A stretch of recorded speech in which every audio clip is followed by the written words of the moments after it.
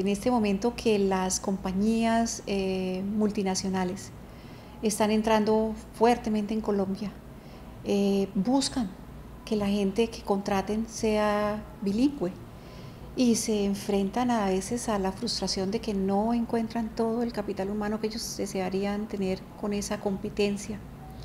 Entonces, cualquier profesional que sea bilingüe amplía sus posibilidades de, vincularse al sector eh, productivo.